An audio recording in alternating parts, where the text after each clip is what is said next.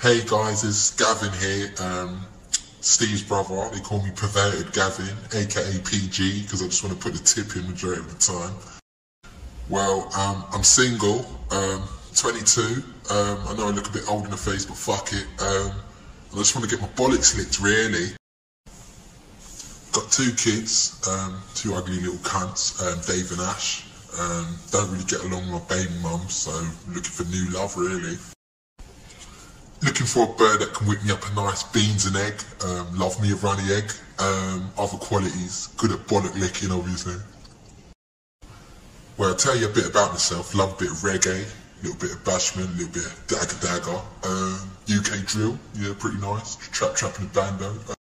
Um, love me a bit of mist. You know, Carlisle's back with a bang. Um, other qualities, I got a degree um, in physical education because I'm really physical. Alright guys, um, just got back to my Snapchat. Questions are rolling in. Um, first question's from Jade from Essex. So Jade's asking me if I prefer a pair of tits or ass. Um, definitely a pair of big knockers, so I can just when I feel like.